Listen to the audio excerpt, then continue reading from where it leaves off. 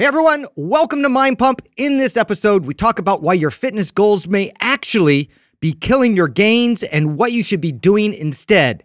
We also talk about a big $15,000 giveaway that you may be able to win. Are you a winner? 60 G's, baby! In the second half of the show, we coach four live callers on how to bulletproof your shoulders using mace bell swings, as well as what to do if your knees hurt when you're squatting. Do you have friends and family that are either into fitness or just getting into fitness? Well, we have the perfect thing for you. We have short, digestible clips that you can share with them on our Mind Pump Clips YouTube channel.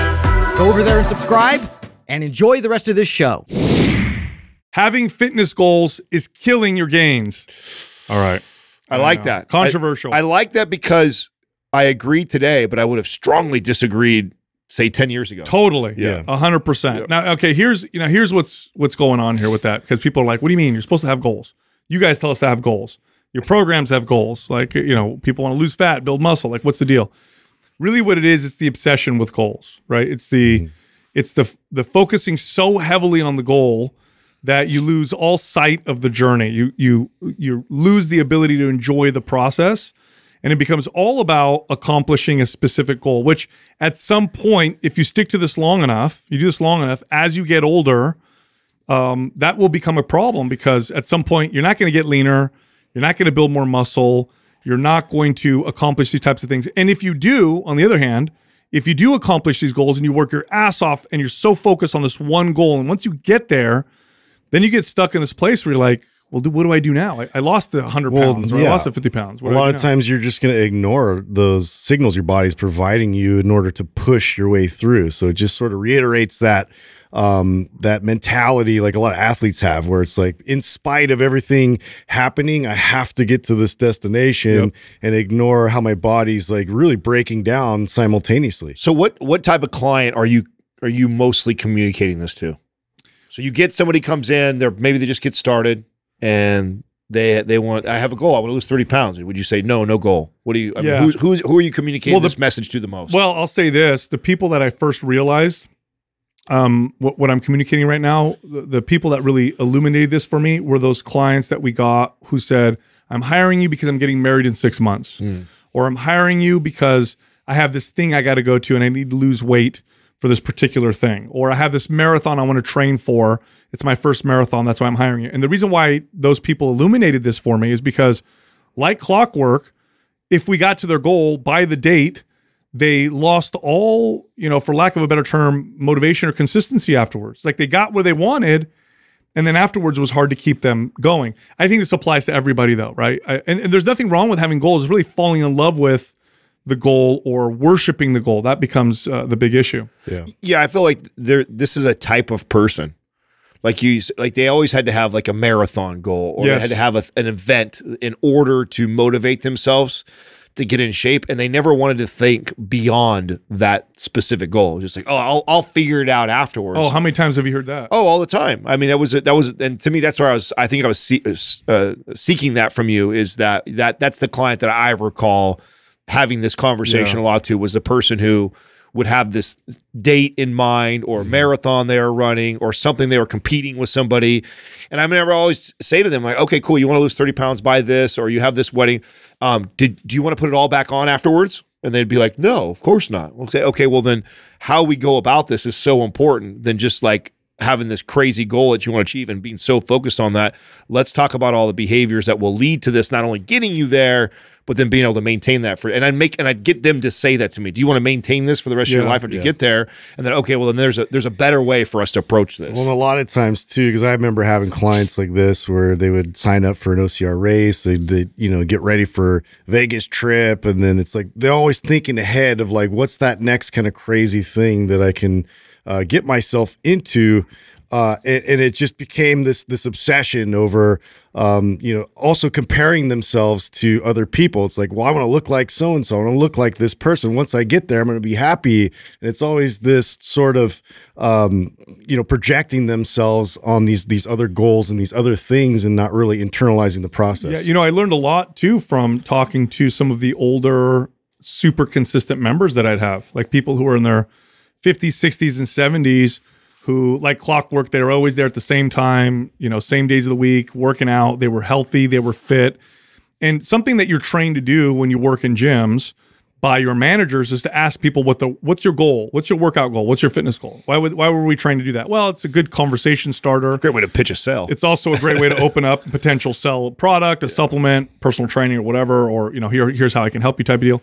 So when I would ask these client, these members who were older and super consistent, so these are people who've been working out for 30 years or 40 years, you know, consistently, say, hey, what are your goals? And they'd always be like, oh, I don't really have any goals. You know, and I remember thinking, like, what do you mean? Why are you working out? You're oh, crazy. yeah. Oh, I enjoy it. I just love working out. I love what I do. And what I realized was their goals were very much for the day. Like, oh, my goal is to feel good today. My goal is to get this workout and then have, you know, no joint pain later, or get this workout and have more energy to go, go to do gardening or and that's kind of how mine has changed a little bit. Now, of course, again, I'm not saying goals are bad necessarily. It's the falling in love with them. Like I still have fitness goals, mm-hmm. but now the more important goals for me, for example, are feeling good for the day. So like I work out, what's my goal today? I want to feel really good today when I come to work, get on the podcast. I want to have good energy when I go home and hang out with my kids and, you know, help my wife make dinner. Like that's different than the like I'm going to gain 10 pounds by this time and I'm all, you know, super laser focused on it because again, two things can happen with that. One, you don't hit your goal, which we know how hard that is and what that can do. But then here's the second one nobody considers. What if you hit the goal? Mm-hmm. You've been so hyper focused on this one goal and you've trained your butt off and you've done everything consistently for three months, four months, whatever. Then you hit that goal and then you're in this really strange psychological phenomena where you're like, what do I do now? I had this thing that was driving me. I hit it. First off, I'm not as happy as I thought I would be if I hit that goal because we all we tend to create this imaginary delusion of of oh if I do this goal, if I hit this goal, I'm going to be so happy. It's going to be so amazing. Then you get there, you're like, well, it's not as great as I thought. And then what do I do now? Well, yeah, I've always uh, tried to to structure short, attainable goals, and and it's really just a, a shift of focus of things where I notice there's a lack of it in my programming, there's a lack of it in my focus nutritionally. Uh, I'm not getting really good sleep. Like it's always going to rotate, and there's there's going to be a lack of focus in one area or one aspect that could need more attention. So for me, it's really just taking that the emphasis and focus and and deliberately moving it there uh, for a few weeks to a month or maybe a couple months and then and then shifting it where I see the next deficit. Yeah, the biggest the biggest change that I saw for myself was shifting it to the the the small obtainable goals. Like when I was younger, I was always taught to you know shoot for the stars, land on the moon. Yeah. So was, I was always taught like big goals, dream big, think Totally. big, don't think small. And so that I w- that was built in me. So it took a long time for me to figure out that that was not the the best approach for health and fitness for myself, and then to teach it to others. Well, that's because this is a life pursuit. It makes sense if you're if it, if it is a short pursuit. Like, okay, I'm going to school right now, so I can accomplish this particular degree, so then I can get a job type of deal. But if it's a life pursuit, which is fitness, like I'm going to do this for the rest of my life, then it becomes a problem. Yeah, that's right. That's why you have to go about it in a in a different manner. And what I found ended up working incredible was actually setting these crazy small, easy goals. Goals that I should be able to knock out in the first week. Yeah. Like, oh, you know, the goal would be this week. I just want to get three workouts in. Oh, cool. Mm-hmm. I hit it. All right. Next goal. And then, like Yeah. literally learning to do that to build momentum and to, tur- to turn it into a lifestyle. Uh, I had tremendous success, and that what became the key to teaching my clients was to actually, okay, I know you came to me and you hired me because you have this big goal of I want to lose 100 pounds or I want to look like this. Cool, get that, but let's actually break that down week by week. Like, what are we going to accomplish this week together? And give me something that is going to stretch you, but it's not going to stretch you so hard that you don't think it's realistic or it's going to be really difficult to achieve. Something you know you could definitely crush, and then we would build on that. I just remembered. I totally forgot about this, but just brought back a memory. I had a, a client. Uh, he was a younger guy, so let's say he probably was in his late 30s, but he was an entrepreneur. He owned restaurants, and his him and his buddies. So he had a bunch of buddies, and I met them all because I went out with them once, and we all hung out. Great guys, right? But a bunch of very successful business owners. So they made a lot of money. Great guys, really cool. And I trained this particular dude, and he needed to lose a lot of weight. Well, anyway, they all came up with this idea because they all needed to lose weight. So they all said, that's it. Let's put money on the table. I was there when this happened. I tried to talk them out of it. So let's put money on the table, five grand a piece. Okay. So there was five of them. I think there were five guys. So it's twenty five thousand dollars was the pot. Oh wow! And in sixty days, let's see who loses the most weight. And I told him, I said, guys, you're going to gain all the weight back and then some. I said, that's not how it works. And I tried to explain it to them or whatever. They said, oh, no, no, don't worry about it. We're going to lose weight and then we'll keep it off and whatever. But this will motivate us. And sure enough, they did. They put the money, and they all lost a lot of weight. And the guy who won won the twenty five thousand dollars. What do you think happened afterwards? They put it all back Not only did he gain it back, he stopped working out. Uh, he stopped working out for a period of time because, you know, for lack of a better term, he kind of burned himself out because he was so hyper focused. himself to get there. He was so hyper focused on that goal that he, he within that period of time he developed kind of this bad relationship with exercise. And he stopped working out with me for like a few months and then slowly eased himself in. And I remember having that conversation, saying, you know what, what made you stop working out was that stupid contest you did. You know, he's like, well, at least I won 25 grand. I said, well, okay, sure. I mean, I could get behind that, but still, you know, and bragging rights or whatever. Right. But still, you know, that's the thing. What's up, y'all? Here's the giveaway for today Maps Anabolic, the original Maps program. Here's how you win. Leave a comment below in the first 24 hours that we drop this episode. Subscribe to this channel, turn on notifications, do all those things. If we like your comment, we'll notify you in the comment section that you won free access to Maps Anabolic. Also, we got a sale right now Maps Symmetry and Maps Strong, both 50% off. If you're interested, click on the link at the top of the description below to get signed up. All right, here comes the show. Speaking of bragging rights and stuff like that, I got to tell a story of uh, and Adam, you this really touched my heart that you did this What's that? the other day. So we're in here, you know, doing the we're doing a podcast, and in between episodes, I get a phone call, uh, for or a text, I should say, from Jessica. She picked up my daughter from school that day, and she's like, "Oh," she goes, "She's really upset right now." I'm like, "What? What's going on?" So I'm a very overprotective dad anyway, to put it lightly, especially when it comes to my daughter. So I'm like, "What happened? Why is she upset?" And she goes, "Well, some boys were in her class were making fun of her shoes." I said, "What?" So my daughter's mom, so you know, she's her her her mom and I are divorced, so she's with her mom half the time, half with me. Her mom had bought her a pair of Jordans. And so my daughter was all excited to wear her new Jordans to school. Well, I guess these boys were telling her that they were they were no, those aren't real Jordans, those are fake. I guess reps is the word you use for saying that they're they're rip I don't know what the rep stands for. Replicas. Replicas, Oh, right? They're replica. fake, whatever. Got it. And so they made her really upset. So she got in the car, she was crying, right? So super upset. So I'm in here getting this text, and you guys saw me. I was Yeah. Just fuming. Oh, I was Trying to calm him Oh, down. get it. Relax, oh. bro. It's okay. I was getting heated because I don't, you know, you, like if my kids get bullied or messed with, it bothers me, especially my daughter. I got this really strong, overprotective, right? So I'm like, and it's boys doing it too. So I'm like, oh, I'm just fuming, right? So I get home. Uh, this was like three hours later, and she's in bed. She's upstairs in bed. So, so I'm like, I'm like, ah. So I come home, say hi to Jessica, and I'm like, where's where's she? She's like, oh, she's upstairs. She didn't want to come out of her room. So I'm like, oh man. So I walk up there. She's in bed. And I'm like, honey, I'm like, tell me what happened. Like, what's it? And she's like, I don't want to talk about it. You know, she's like kind of crying. I'm like, oh, I'm so mad, right? So like, tell me, tell me what's going on. She's like, they said they were reps and they're not real. And I'm like, well, how do you know? I said, your mom bought them. They're Nike. They're Nike. They got to be real. She's like, no, they're the stitching and this is this and the the label is that. And so I'm like, you know, maybe your mom got ripped off. Like, what's going on? She was all worried because she had these fake shoes. So I'm like trying to figure out. I'm going online. I'm like, oh shit. I'm like, I know a guy Actually, who know knows a guy. more about knows more about like sneakers than anybody like I an know. almanac Like of- fuck, I gotta call Adam. Now here's the funny thing: Adam, if I text him like after work, it'll take him usually hours to respond. but I texted him. I'm like, bro.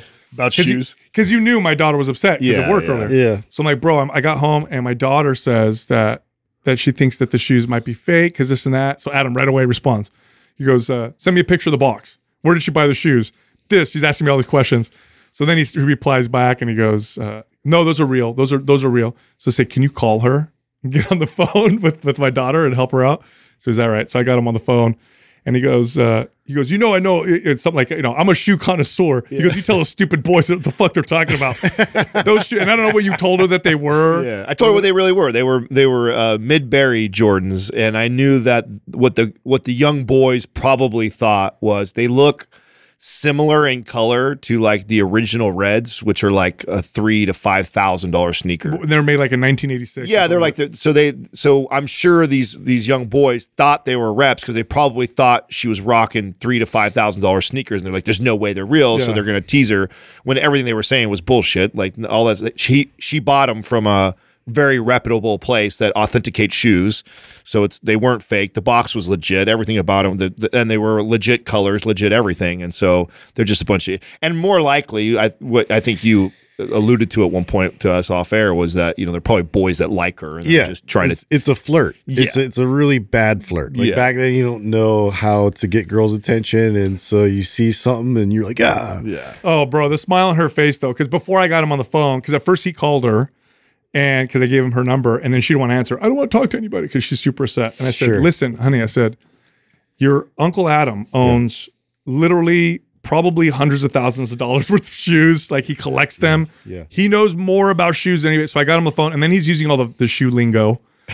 So she knows that he's, you know, the, and then the smile on her face, and then he texted her, was like, "This is what you tell the stupid boys." And he said, I was like, ammo "Yeah." coming in. I bet she That's came back to Oh, school so just ha- hot. oh, so she was good. smiling so hard. Man, kids are rough, dude. Kids are kids are uh, really, really. And I, you know, I, I actually went down the rabbit hole after you sent that to me because I had never heard actually the term reps before. That was actually new to me. When we were kids, you just call them fakes or knockoffs or like Yeah, you know, so if somebody.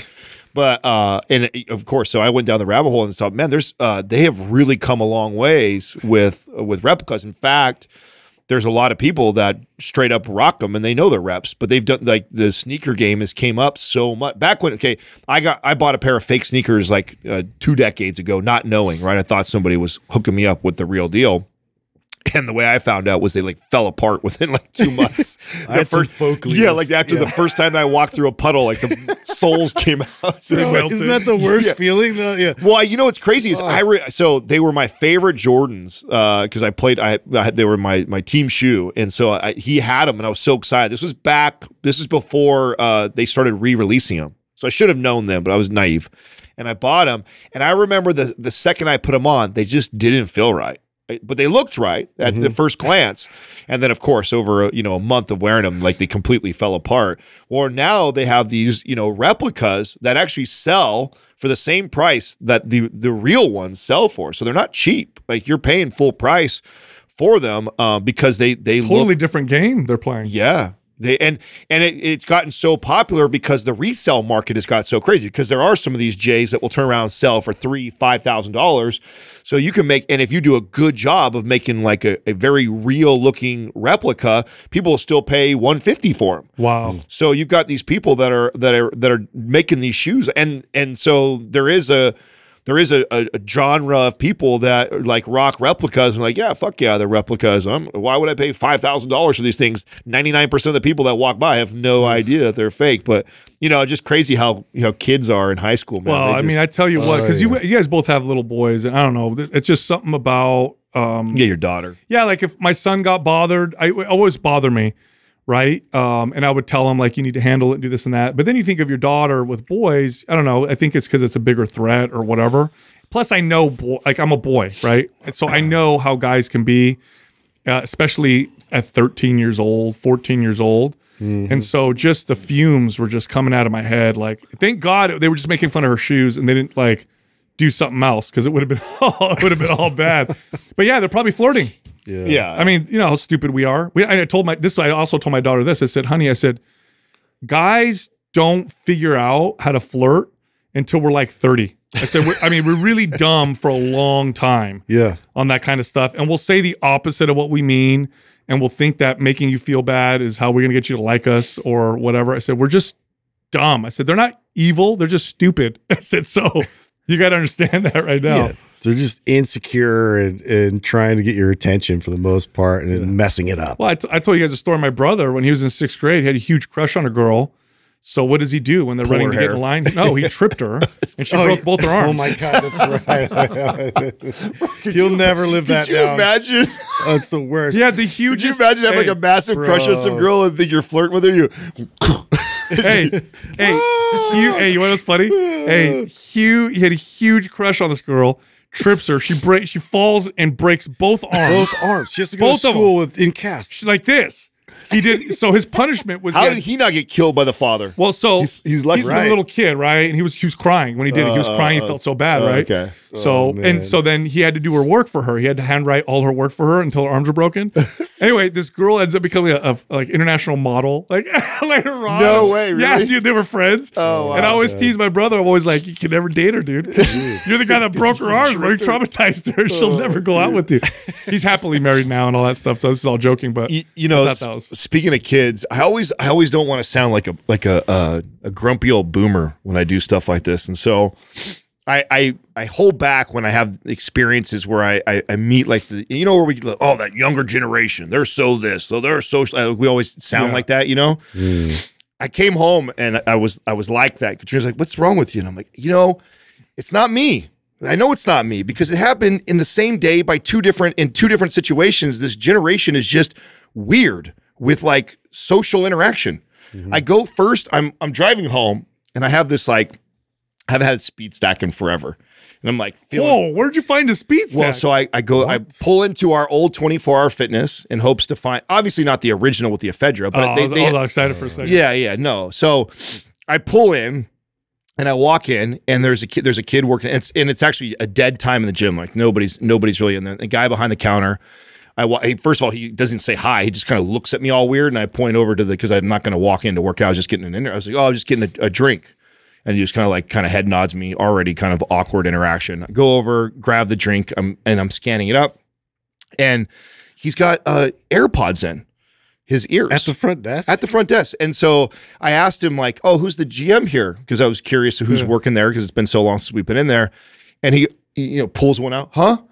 And I'm like, "Oh, who, who's the GM here?" And he's like, "Oh, Jerry or something like that." And, then he puts it back in. While he's working? yeah, then turned his back on me. And then I tried to say something again to him, and obviously the music was playing loud enough that he didn't hear me again. So I just said, "Whatever, forget it." So I'm already like, God, it's so terrible. Like I would, I'm, I'm also thinking Sounds about like free workouts at that. well, gym, man, I, walk right I'm, in. I'm thinking about when I was Take a pen and throw it back managing these places. I'm going like I would be livid if I caught that, you know, or seeing that. Like no high in the first place, playing head playing music in while you're doing that. yeah. So, that- so rude. That's like like at one o'clock in the afternoon. Well, then uh, it's like five or so, and uh, Katrina's like, "Oh, I'm really craving pizza. Can we do pizza tonight?" I'm like, "Yeah, I, I feel like pizza. That sounds good." So we order it from this pizza parlor, and I show up to go pick it up.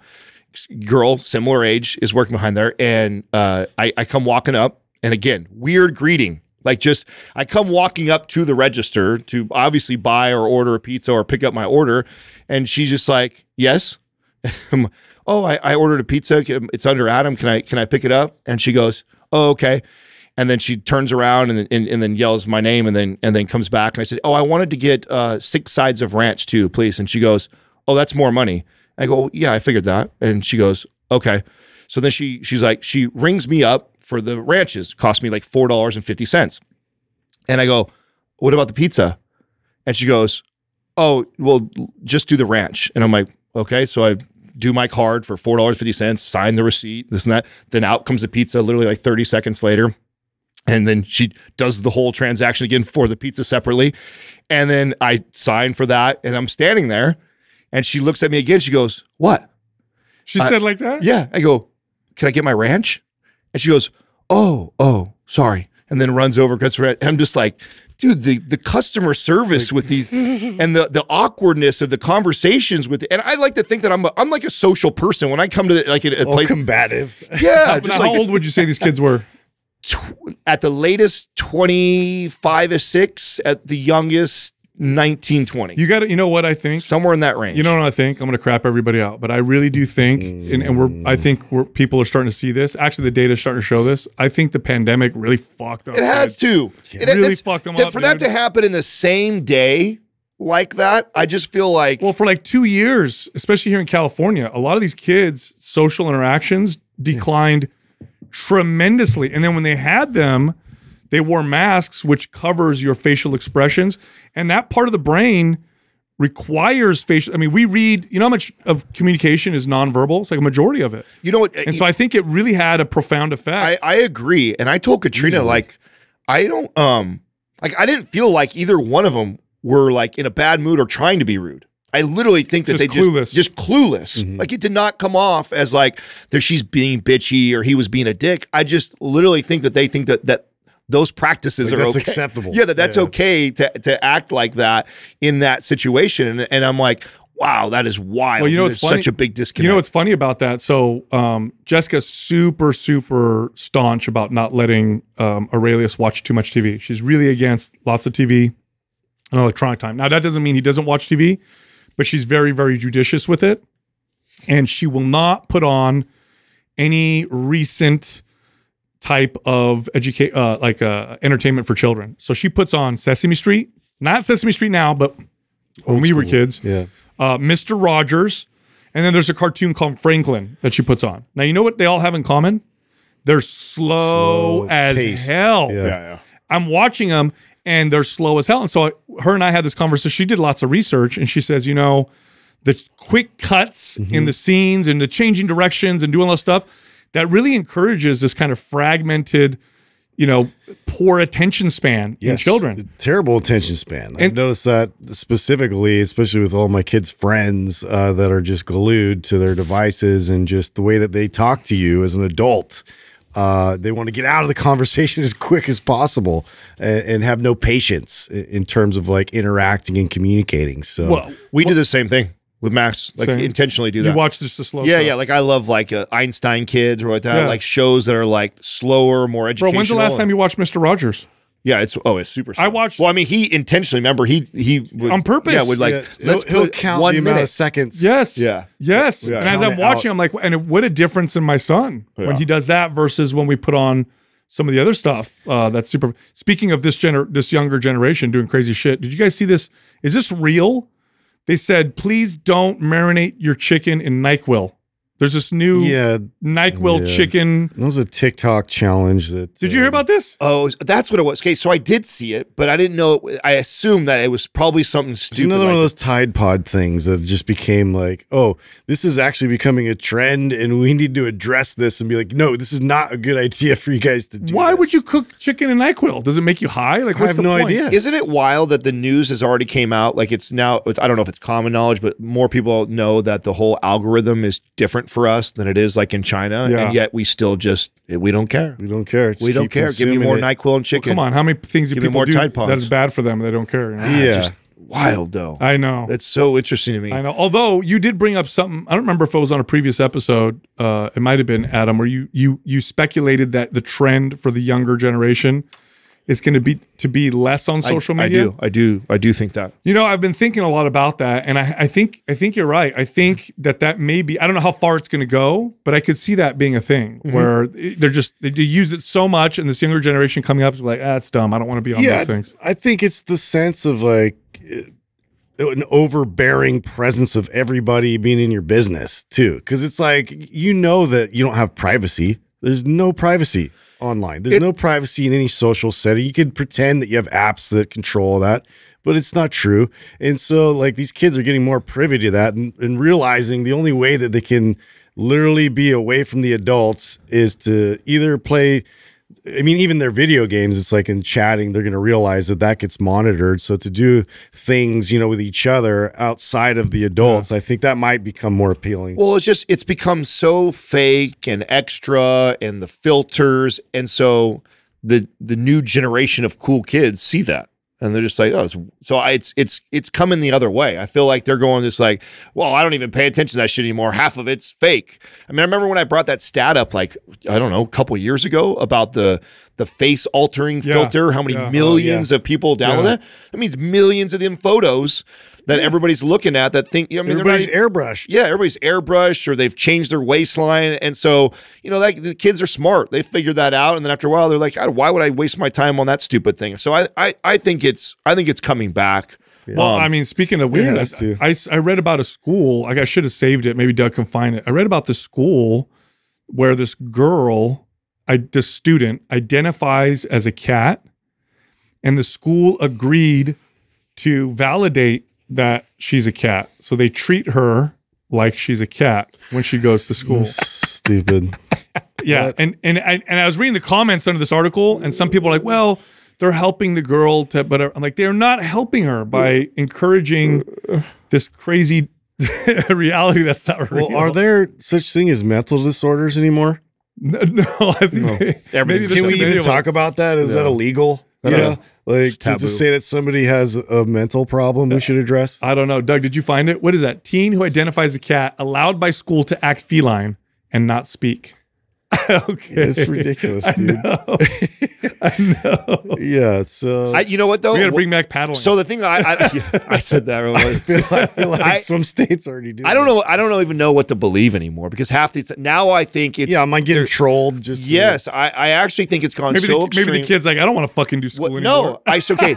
Okay, now I'm this is pretend I'm this is cat. something I would do as a Totally. kid. I was the type of kid that would would think this is so ridiculous and dumb that the way I would buck the system would be by trolling the school. I would get with my buddies and be like, "Let's let's pretend like we're dogs. Like, we're gonna be we're gonna be a dog for the and like we would like push the like that's Let's the type see of if kid Mrs. that I Mrs. would. Robinson will feed us dog. food. Yeah, yeah. Let's, Oh. we're gonna- I'm gonna hey, bro, I'm gonna take a shit on the grass. Yeah. And no one's gonna say anything. Watch. I mean, that's totally my buddies and I. We would totally do some shit like that to mess with the school. I can see us making a bet like that. Oh, yeah. All right, we're gonna act like That's dogs. right. Let's see who gives up first. Yes. Wouldn't you? I feel like we if we saw this, come on, you you if you saw that if this was happening in, in our in our era when we were in school, do not tell me that we are not the group of guys For that would sure, have I'd like be in on that. Yeah. would totally like be like, you know what? Let's let's see. Okay, they want to go that route. Okay, let's go. Let's see. Yeah. What, let's see. Let's who can gonna wear my furrier suit. Dude. Start Yeah. smelling people's butts and hey, I have I have something I want to share. Doug, will you pull up? I want to see hopefully the news article when it comes up. Uh, fentanyl, fentanyl, and Halloween candy. Oh, I And heard I want about to this. and I want to hear what your guys' initial thoughts because I have a thought around So this. I have a- every year there's there's something right with the candy, and so this is rotating. So what can they promote Well- fear in the hearts of every Well, parent? So hold on, I have a family member that works. I think I can say this for the FBI. So she works in the FBI. Okay. And part of her job, and she can't tell us much because apparently what she does is kind of like uh, classified. But she's sending us articles and saying, "Hey, candy colored." Very strong fentanyl. So Yeah. these are pills that are candy colored and they have like little stamps on them, yes, like little yes. kids will like. That's the article I read. is circulating right now. Okay. So the fact that you have some inside FBI will is makes my thought or makes my theory wrong if if you're right because I don't believe it. I just Yeah. uh, Well, I don't I've been around I've been around that. that? space let's say for a, a decent part of my life and I've never met a drug dealer that would give away his drugs. Yeah, no, that's stupid. Yeah, Yeah, you're right. never, I've never, ever, ever, and especially neighborhoods are we especially to kids here? who are not return customers, children, Uh, giving away my drugs. You drugs. ain't gonna get free drugs. yeah, you're not. You're no. never one. You're never going to give away give away free drugs. And and by the way, some people are like, oh, they're trying to do it so they get hooked and get them like. like Okay, Dude. you're not The kid's not passing gonna know out. what happened. That's right. The kid's not going to know what happened. So you're not, and he doesn't know where it came from. So he's not. That's that's a stupid theory that they're trying to get them hooked at an early age so they could sell them what ten years later and hope they cross Yeah. paths. No, it, No. What, what they did was is that there's definitely candy colored, and because you know this is what this is what uh, the black market does. They'll take drugs and they'll make it look cute. Sure. right? They'll put a, they'll put a stamp on it for like a bunny or whatever. That's the that's why everybody's freaking out. And there have been some overdoses in high schools of kids using this parti- this new Yeah, that's all fentanyl. true. Yeah, but, but I can't you just but people- stick with the every tried and year- true candies? every you know, year just monitor it that yeah, way. But, but I agree with you, bro. Nobody's putting their drugs in. If you know anybody who has drugs, the last thing they're going to do is give it away no. to people. yeah, especially to mess kids, especially to kids who aren't going to be return customers. Yeah. You know what I'm saying? Maybe, maybe. Okay, if you're a, like just a, a, a great marketing drug dealer, you you know who to give some of your adult friends some free stuff that hopefully they get hooked and come back to you. Yeah. But you are not dropping it in some random stranger's bag.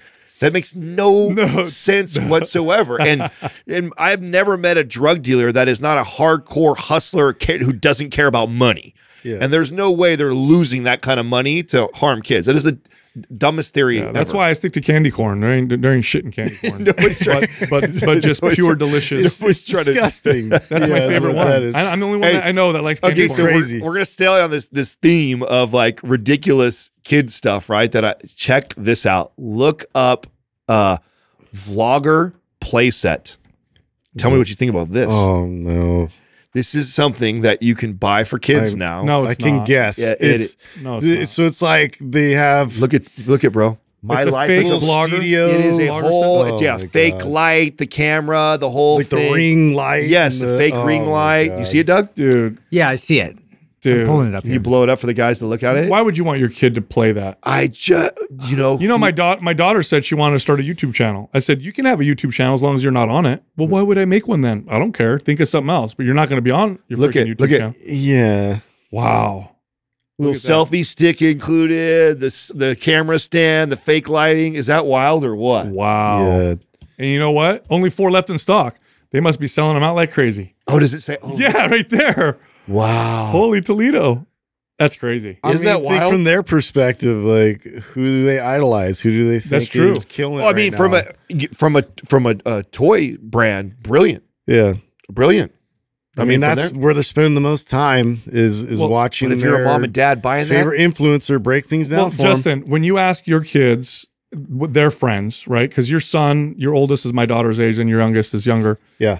How many of their friends say they want to be A YouTuber. stars? Oh yeah, Yeah. that's that's a common. That's the major. That's the majority it's now. a common theme. Yeah, But that's what they think they want. Oh no, this. I Is, thought I saw a poll on that. Like the they're like that is completely Yeah. shifted to that. Like it used to be like athlete, actor, actress, like these or lawyer, doctor, all these Mm-hmm. things like that. Like the number one thing for like the the generation coming up is, is and they all think that they're gonna be a star. I told. Like, hey, it's I told my cousin that. I told my little cousin, I want to be a YouTuber. I said, you have a better chance of becoming an astronaut yeah, it's like than being a famous would YouTuber. just killed just because it's a low barrier entry, you know, it's like you get this misconception that like you're all of a sudden get all these followers and be better than whoever you're watching right oh, now. And It's- it's, oh, speaking of watching, so I put on the Dahmer series that we Oh. we're talking about. yes. Okay, so you know, you know what's okay. So I'm so, So creepy, huh? Well, here's why I'm conflicted. I'm conflicted because You like it? no. what does this mean?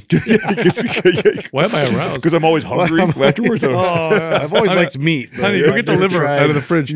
I no. Here's why I'm conflicted because I know I know this from the data. This is a fact that glorifying Yeah, um, yeah, I know. serial killers creates. This is what I said. I, did, I, mean, I said one of the things that I thought was most dis- disrupt or uh, disturbing is that it's like the number one Yes, watch the number show. one everywhere. Yikes. You know what's crazy too?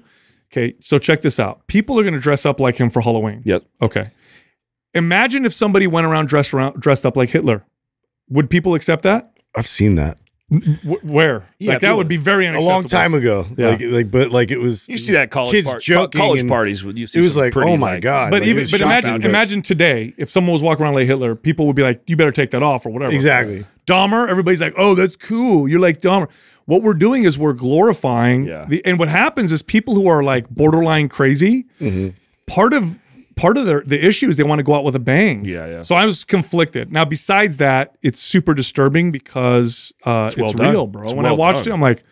When he when he lobotomized that kid or whatever, I was like, "Oh come on, man, that's messed up, dude." That was like the second episode, third episode. Oh, I mean, no, it's it's it's it's graphic, it's eerie, it's it it. I don't know. They did. it. I haven't had a show that fucks me up nightmare wise in a long time. Like that's I, I cannot watch it as the last thing that I watch before going to bed because it's. What do you? What do you? Okay, so let's say you watch Dahmer, and you're like, I got to go to bed. What do you put on as a buffer? Uh, I normally like Katrina uh, picked those. I think it was Bling Ring last time. what? What's that? It's like a you know, Asian reality show, like rich, super filthy rich people. Oh, really? Yeah, yeah.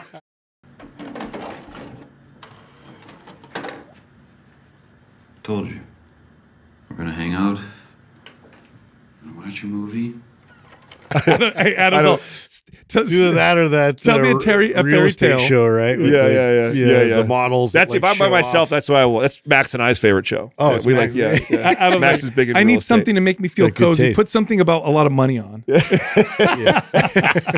oh, thank you. I'll get yours Uh, out. coming back to Earth. Hey, speaking Oh. uh, speaking of money, did you guys see Vuori's going uh, is going big time international? I got an Yes. article here. Yeah. Oh, yeah? Finally, you know how many people from Canada and everybody that be bugging us for the last check four this years? right? They're they're going. Yeah, they just announced that. this. Was they just announced like like in, within the last few weeks? They're launching in China, Hong Kong, Singapore, Middle East, and Mexico. So they're making those big launches right now. Wow. This company Does that mean still is, no Canada? Big is markets. crushing. Uh, I think it's in Canada, isn't it? That would suck. It wasn't before. They went to those places Everywhere else but Yeah. Canada. Sorry, guys. Why? What is what is it about Canada? Sorry. So many of our brands don't go to Canada, but they go to other places. What, what, are they just have really strict border laws? Is that that makes it difficult for like these these companies, these direct to consumer companies? That's a good question. Yeah, why is it so? I would expensive to imagine, ship right? Because don't you guys? I get that Because a that lot. market's so similar to the, ours. You I, would think. I would I would think it would be a, a hard leap for that. Yeah. So I don't know. I don't know why that is, but uh, there's several brands that we work with that uh, don't go to Canada. Yeah. One, two, three, four. Canada deserves more. Vuori, One, two, three, four. Canada deserves more. Vuori. And I don't. I, I I'm assuming it's something about their strict laws, or else it it's random that we have all these brands in common that they just don't go But to. the, oh, they are in Canada. Doug Yeah. said. Oh, good. Yeah, they're in Canada. Oh, good. Oh, good. Good. My brother fell in love with these pants. What are these called? The Meta? Are these Meta? That's Meta, right? Total. You got the same ones? You, these aren't uh, Vuori. Oh, never mind. Sorry. No, I was I just don't- wondering why they don't look, tag on your they look so commercial. shitty.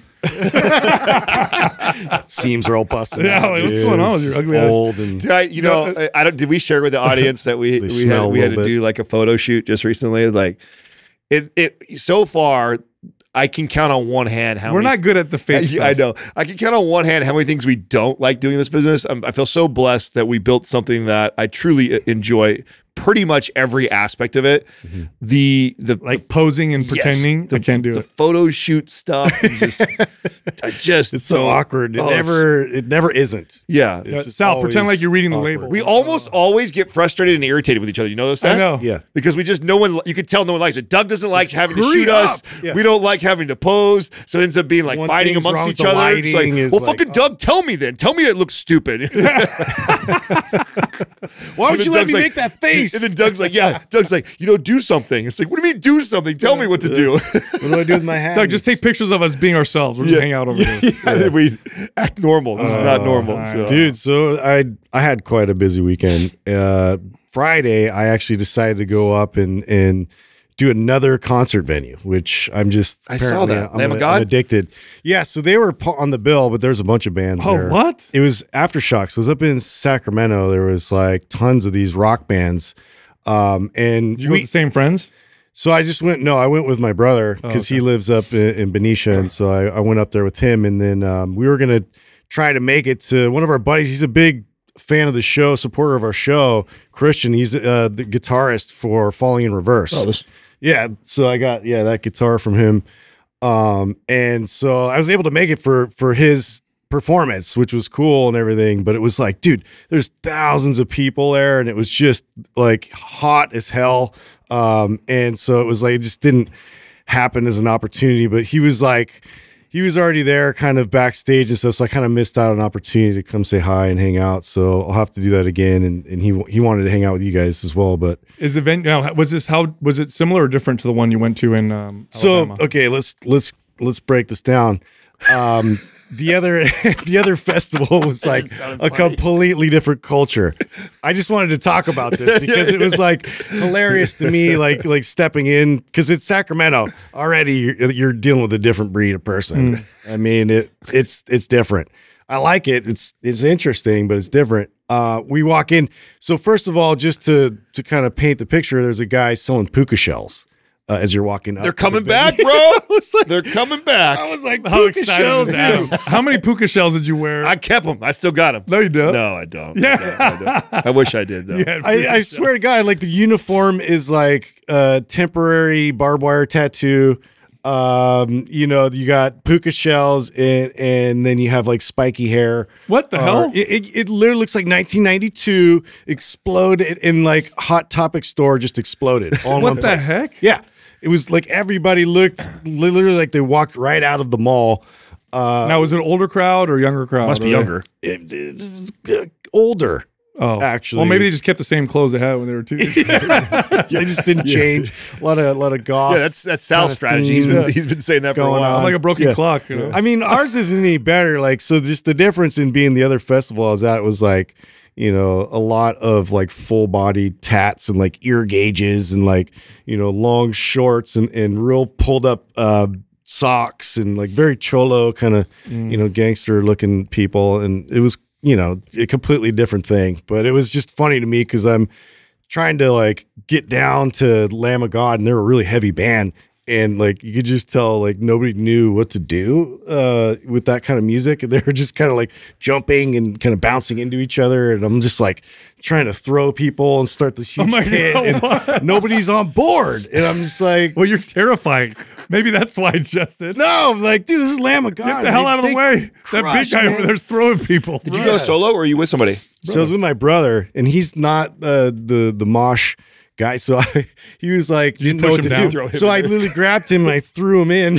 what a dick. Remind me not to go like, with you. "Ah!" like, like getting swept in. I'm like, dude, it's not bad. These people don't even. They're not throwing any kind of dangerous things out there. You're gonna be fine. And he was fine. Nobody got hurt. You know, it was a good time. Doug, when is when does this episode uh, officially air? What day? On Friday. Oh, this Friday. Mm -hmm. Oh, so we'll miss it. Never mind. Well, it doesn't even matter now. Well, I actually will tell the audience because I'm I'm going to do this on a more regular basis. I don't know if I told you guys or not, but you know, uh, my buddy Chris Naghibi from the Higher Standards podcast. Yes.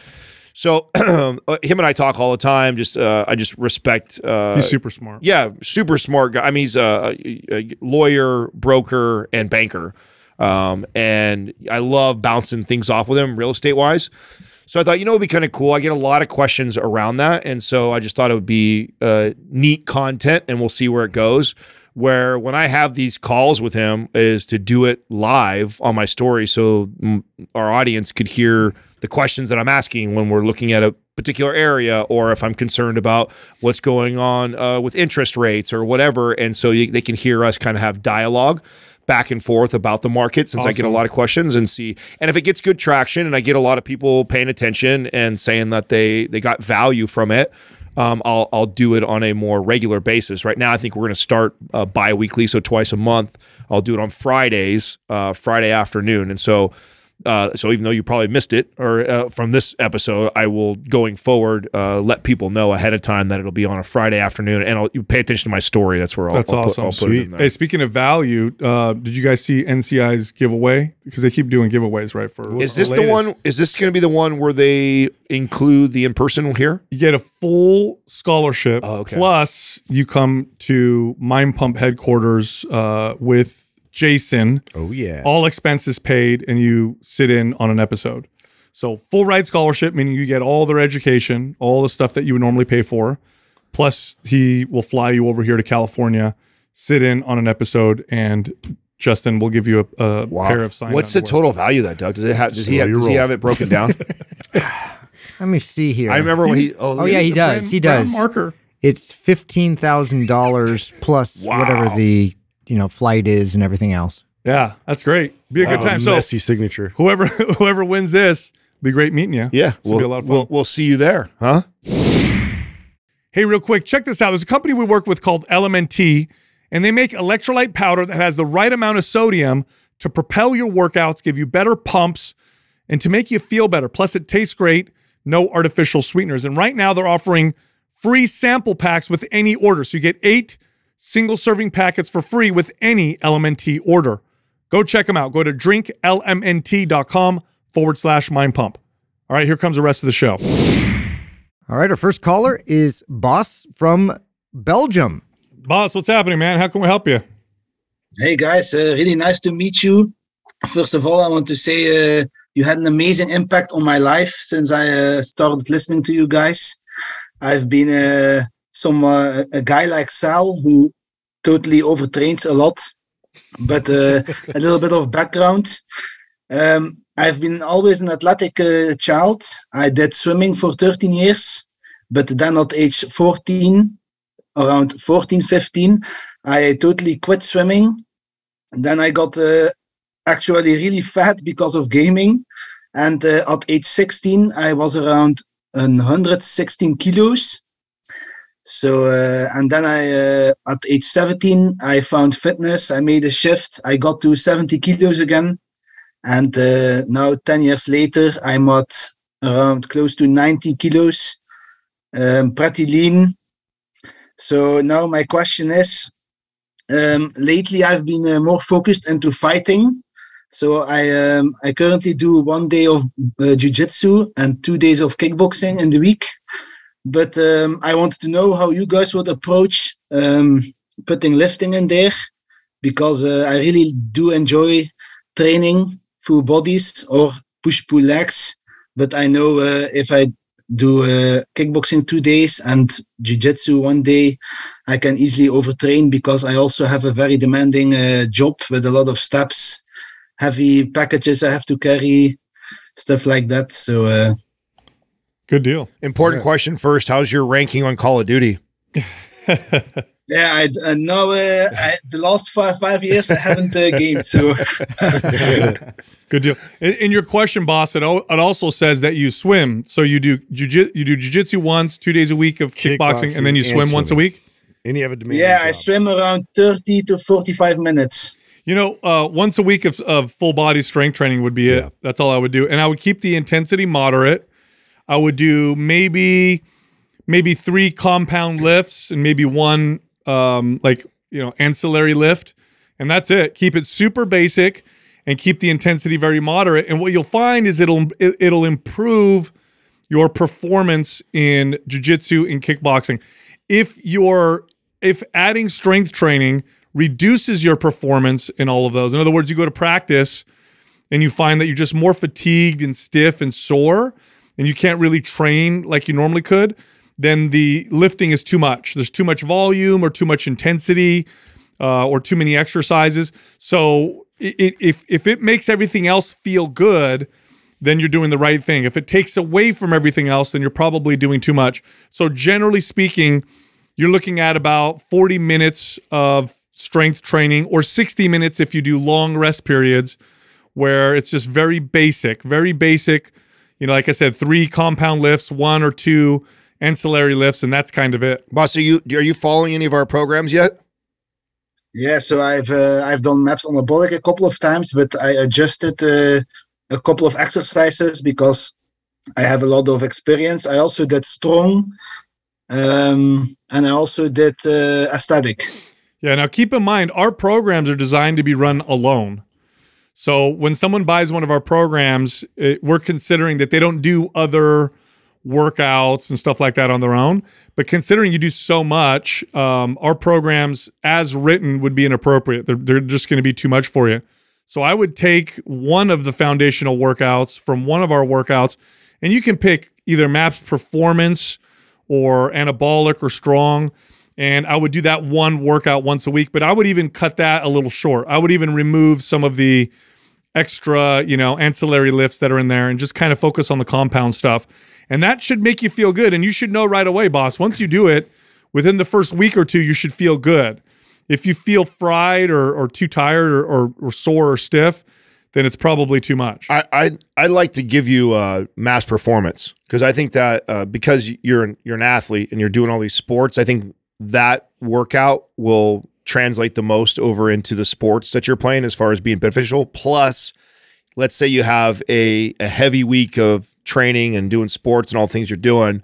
Uh, you know, instead of actually doing a lifting day, maybe you'll take a mobility day out of there and that and be a little more recuperative for the body. And that's how I actually would use performance. So, like Sal's advice, I would only be strength training one day, maybe max two days a week if you have a, like a slow week on sports, uh, and or utilizing the mobility days as active recovery. So on days when you got after it pretty hard, maybe the next day after you know jujitsu or swimming or something like that, I do like a nice mobility workout to help uh, facilitate recovery. So I think that program, in my opinion, would benefit you the most. Yeah. By the way, you you a lot of people don't know this, but Belgium's got some of the best fighters in the world uh, of all time. So I'm sure you're a big fan of of some of those guys. Like uh, God, what was his name? Garigium? Am I saying his right name right? And uh, is Bas Rutten was he from Belgium?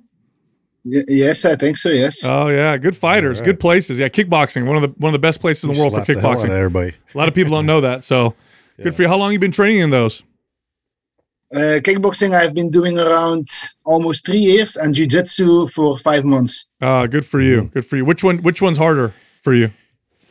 Uh, I think um, it's it's it's uh, pretty. Uh, I think ju- uh, jiu-jitsu is harder, but um, kickboxing is more demanding on my muscles. Yeah, yeah, I would agree. So have and I just got to ask uh, if you've ever taken like time out to um, do like an off season where you just focused on strength training exclusively and maybe then supplementing you know your your skills training uh, with jujitsu? Well, yeah, well, actually, um, most of my last five years were most strength training. okay, Yeah, so, so I've been building up like to this um, point.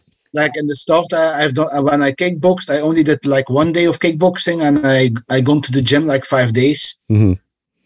So it's it's So mainly, flip and I that on its didn't I didn't always swim. I didn't always swim, but um, yeah, my uh, my main uh, last six years were actually on building muscle and going to the gym. Okay, great. Yeah. Well, I think then this this is sound advice for just once a week to just supplement what you're doing now because that's the heavy emphasis. Yeah, you want to keep keep you know, keep this in mind, boss. When you're when you're doing the kind of training that you're doing, the emphasis is going to be whatever you do will be to make those things better.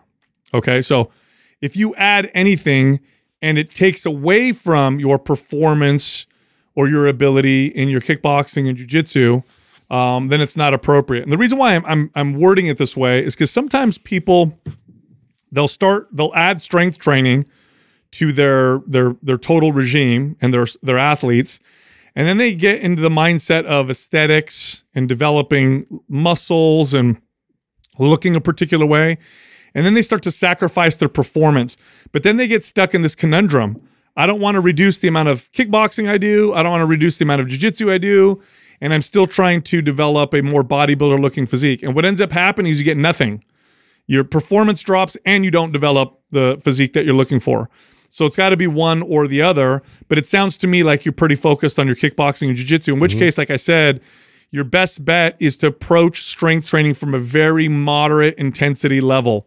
You go in there, you practice the movements, you feel good while you do them. You should not feel at the end of your strength training workout like you do at the end of your kickboxing workout. Like when you're done with kickboxing, you need to go lay down. You feel like you just went through like, oh man, this is that was I got beat up. You should you should not feel like that at all with strength training. If anything, you should feel better and rejuvenated at the end of your strength training sessions. If you do it that way, you'll get great results. If you do it, if you treat it like your kickboxing workouts or jujitsu, where you're in there and you beat yourself up in the gym, all you're gonna notice is everything's gonna go downhill. Yeah, I already had an idea you would say something like this, but um, I had a little bit of fear because um, I'm actually really proud of the physique I built, and I had a little bit of fear that uh, it will go away because of uh, all the fighting and swimming. But I do enjoy it a lot, and I want to get better in it. But I really want to not not yeah not get skinny. Yeah, to in well- a way. Well, look, here's what's going to happen. You're going to get you. You probably will. Your body will maybe pare down a little muscle, but you're not going to get skinny. I mean, kickboxing, jujitsu with a little strength training, you'll have a an athletic, you know, muscular. You're just not going to be as big. That's all. Yeah, it's just seasons. So you're, you're doing a season, and, and your focus right now is on these, you know, sports. So, you know, uh, you'll come back to to strength training, and it'll, um, you know, respond appropriately. It comes there. back fast, yeah, man. real fast. Yeah. if you decide to stop and go back to just more strength training. But uh, but I, I mean, yeah, you're, you're like uh, you know, uh, that's it. You add a little bit and you're fine. You'll you'll you'll notice improvements. So, so you would say uh, one day of performance each week, and uh, only the mobility uh, I I take with it. Yeah, you can do mobility whenever you want. That's that's recuperative. So, in fact, in fact, you know how I do the mobility sessions? I would do them uh, bef- uh, before your jujitsu or kickboxing class. I would do like a like twenty minutes of mobility mobility flow session. Mm, okay, clear. Yep. All right. All right, man. We're gonna send you performance if you don't have it. Okay, boss.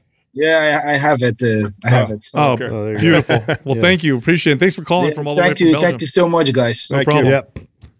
Take care. You got it. What uh what what percentage would you guys guess actually listen to us with the athletes, right? Oh, oh. In particular, I like thought you were going to ask how many people ask similar questions. well, Yeah. so okay, that's the reason why I'm bringing that up because we do get this question a lot. Like it's just different. It's it's the same Yeah. question, Same question, different sport, different right? pursuit. So wh- why I'm asking this is because I have this sneaky suspicion that a very small percentage actually, and the reason why I think a small percentage actually listen to us is because the athletic mind yeah, hundred percent. is it, it, it it's like what I can handle, and I know, mm-hmm. and I love that you always say that like the the, the right dose isn't what te- technically you can handle. The right dose is the right dose for your Right. body, and It's not the max you can tolerate. That's right, not the right dose. and that's and unfortunately, and fortunately, because that's also what makes some of these athletes really good is they have this ability to endure so much, right? And they become resilient Yep. and they and they they've they've got good at their sport by overcoming these things. And so hearing someone like us go, "Hey, we want you to back off," you know, and do le- do less and you're going to probably have more muscle. I just I I have These this guys are crazy. Yeah, I want to I want to believe that everybody trusts us enough that they just go listen to us. Well, what I'm hoping is is that they because I you know athletes that train quite a bit they know this like I'm sure they've heard it a million times and they know it they just don't follow it. So what I'm hoping is is that because he said oh that's what I thought right, you guys right, would say. like we confirm it and we so- confirm he's like all right fine I'll finally do it. I hope I hope that's the case. Yeah. Otherwise you learn the hard way because here's what'll happen if he doesn't listen.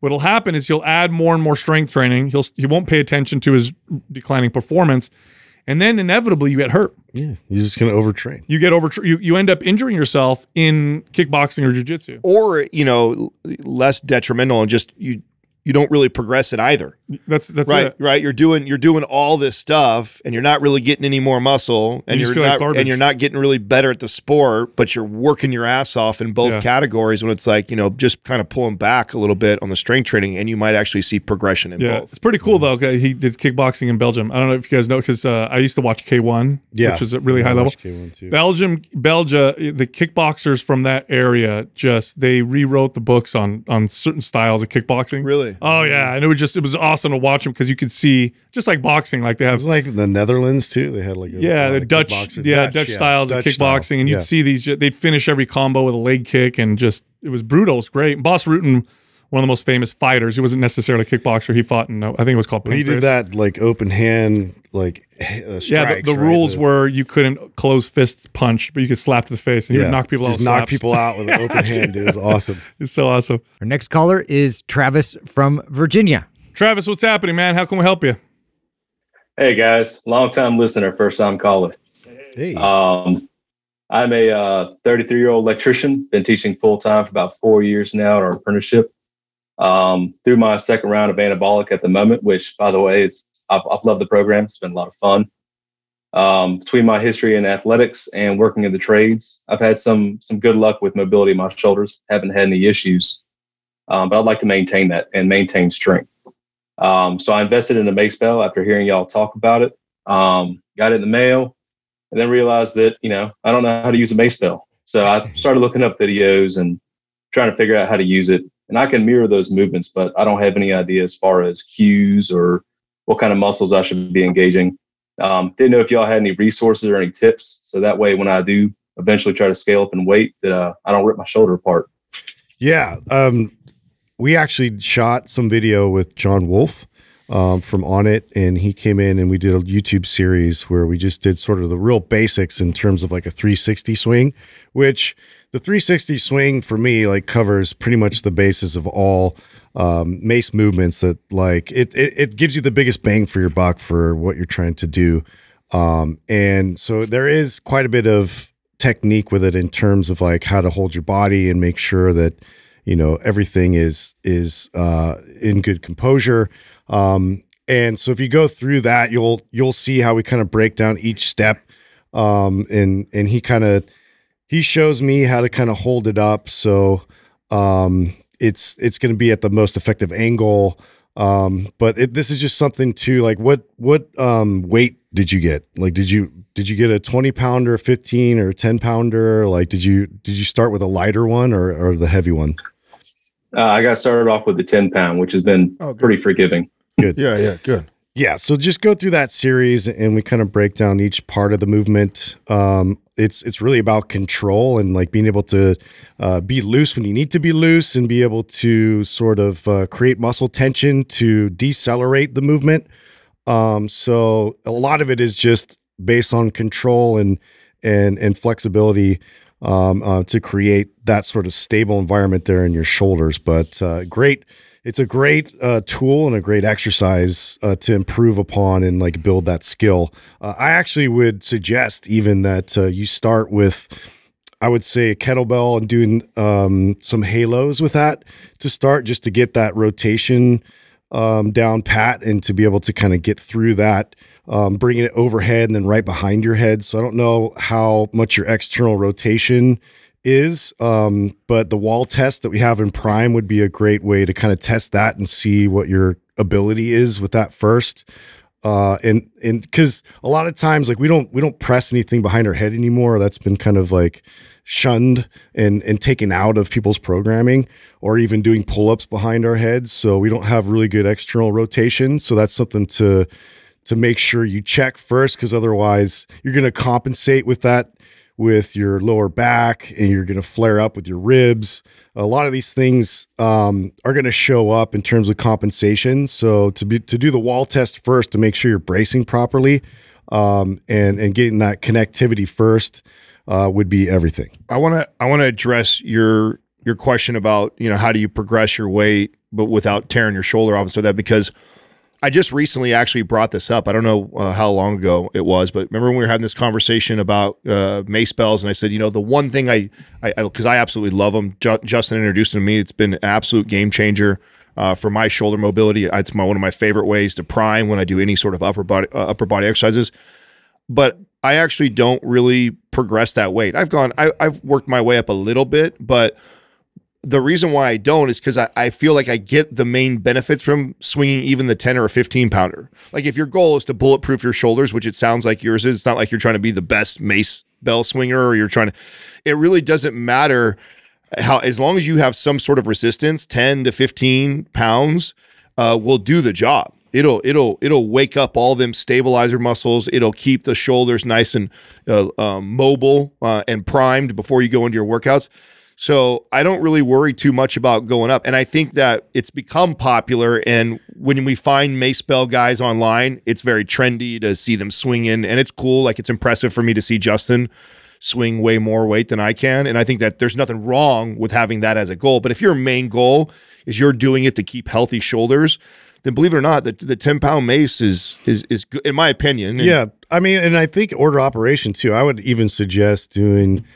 the uh, Indian clubs first, just because we can ind- we can have one at a time, yeah. and and really build and develop that skill of of rotation in, in all areas too. So uh, the heart swings really good at that. So you you get control in those rotations all the way from your your wrist, elbows to shoulders, um, and you know building upon that i think is is is an easier way to learn uh, how to, how to organize that. Tra- Tra- oh go ahead. uh, travis Did you do you played sport do you play any sports or did you play any sports when you were uh, younger in high school? I did yeah um, football through the discus and i did powerlifting okay good okay so so uh, the reason why i asked you that is i'm going to try and, and kind of convey something to you because you you said something sports analogy coming in your in, question huh? and uh, yep it's coming you said something in your question that is is pretty illuminating. Now, bodybuilding has brought a lot of good things to strength training, but it's also um, brought some bad things to to strength training. And one of the bad things that it brought to strength training is it got people to think that every time they do an exercise with any resistance whatsoever, they have to think about the muscles they're working. Now, for bodybuilding, this is perfect, right? I want to isolate a muscle or I want to feel a connection to a particular area. But when you're doing a, a, a skill or a movement like swinging a mace bell, it's like when you threw the discus. Imagine if you were coaching someone with the discus and they said, okay, what muscles should I be focusing on? And you're like, no, no, no, don't focus on muscles. Practice the movement. Because if I sit there and think shoulder, core, bicep, it's gonna it's gonna segment the movement and it's not gonna become very fluid. The same is true with the mace bell. You don't want to think about what muscles necessarily that you need to activate or feel it in. Think about perfecting the skill in the movement. It's much more of a skill than it is a muscle specific exercise. Otherwise, because if you watch bodybuilders do something like a kettlebell swing, because they know they segment everything all the time when they lift, it doesn't look like a kettlebell swing. It looks like an upright row reverse curl squat if you ever watch them do it. It's like they're trying to figure out what muscles to activate and where do I feel it. You can't do that when you do a movement like uh, mace bell. It's not about shoulders, biceps, core. Yeah, those are all active while you're doing the movement, but don't think of it that way. Think of it as a fluid skill. Yeah, That's the are, idea. These are hilarious to me because they're they're so hard to articulate um, Right. what's happening because it's it's a very specific type of a movement that you have to practice continuously to get um, sharper at it to to have more fluidity uh, in the movement and also like to be able to stabilize your entire body. The whole goal of it really is anti-rotation everywhere else except for the shoulders, right? And so uh, to be able to create that, it takes a lot of practice and, and ability to loosen um, you, you know your shoulders when you need them to be loose and then and then brace and, and control um, the momentum of the mace bell. Yeah, so the, the, the muscles you use are and you feel afterwards is a side effect. Don't think of it as the primary effect. You don't want to think about what muscles do I need to activate and use when I'm doing this movement. Just perfect the movement. Think of it as a sport. Think of it as throwing a discus or playing any other sport, throwing a baseball.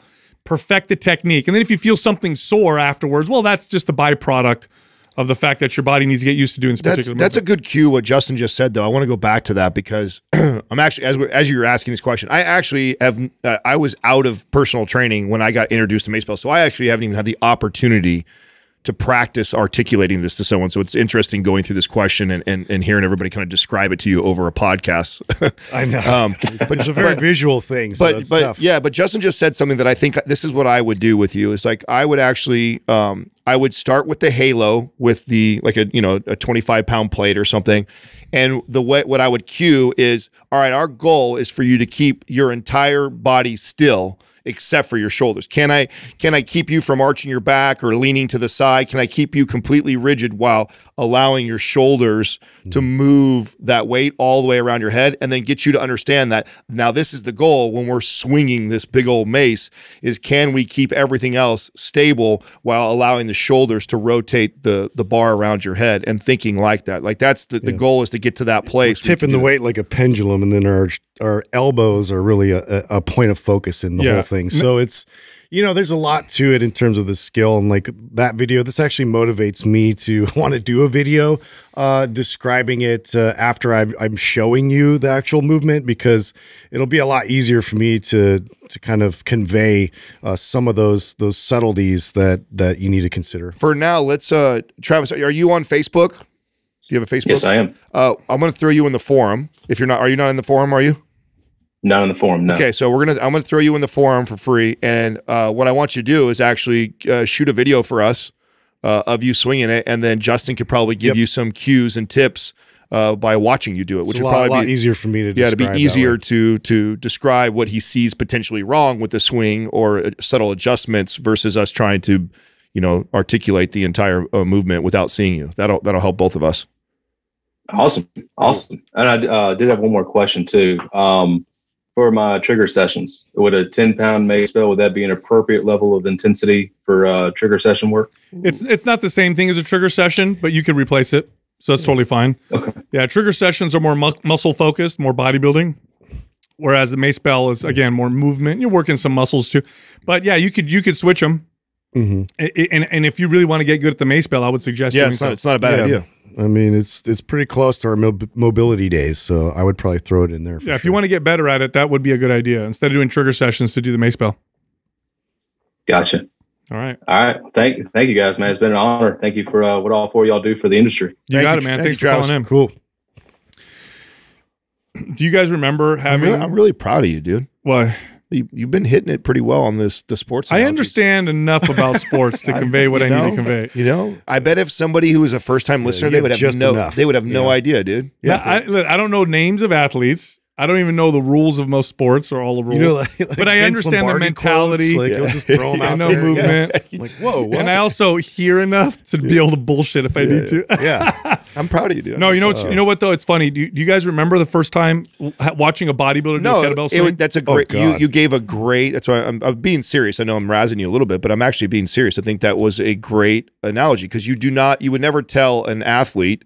You would never break a baseball swing, a bat, baseball bat swing. Yeah, You would never- activate your obliques, yeah, use your or shot- biceps. Yeah, you yeah. wouldn't say, okay, you know, all the break down all the muscles. It's a, that a would fuck up someone's uh, someone's movement. It would mess up the skill of the whole thing. You know, this is why Olympic lifting is so skill oriented. Olympic lifting is so different than bodybuilding.